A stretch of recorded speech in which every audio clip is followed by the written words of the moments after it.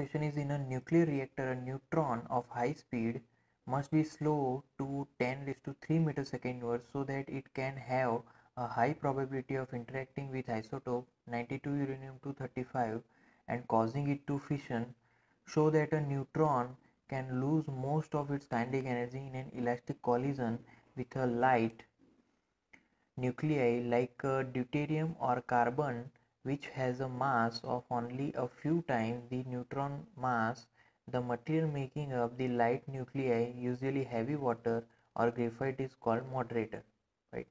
So see our uh, kinetic energy initial half m vi 1 square. Then uh, final kinetic energy v1f is equal to half m that is m1 minus m2 upon m1 plus m2 v square v1i square right?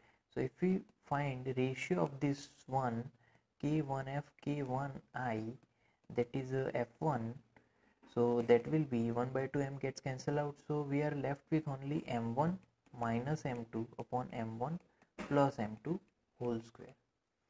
Then after for second k2f is equal to 1 by 2 uh, that is here. This is m1 this is also m1 right?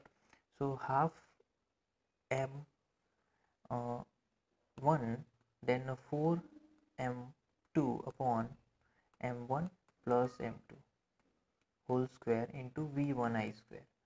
So again ratio f2 is equal to k 2f upon k 1i is equal to then uh, we are left with k1i so 4 m1 m2 upon m1 plus m2 whole square right? Now see if m2 is equal to 2 m1 right? Or m1 is equal to 2 m1 right? We can do both. So m2 is equal to 2 m1 here. So then right? So m2 is equal to 2 m1 so we are left with m1 minus m2 upon m1 plus m2 whole square right? So that is f1 f1 is equal to uh, that will be uh, m1 minus 2 m1 so minus upon 3 so 3 m1 so m1 m1 gets cancelled out. So square only. So f1 is equal to 1 by 9 and now for f2 we know that 4 m1 m2 upon m1 plus m2 right? So by putting here again uh, a whole square. So by putting here f2 is equal to 4 2m1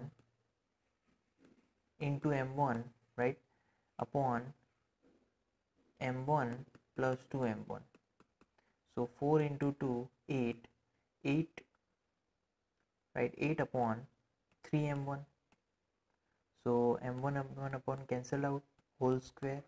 So here f2 is equal to 64 upon 9 so that is its answer. Yes in the second equation f2 I have mistakenly written that actually here for, for only 4 m1 upon uh, there is a m1 plus m2 whole square. Only in denominator there is square.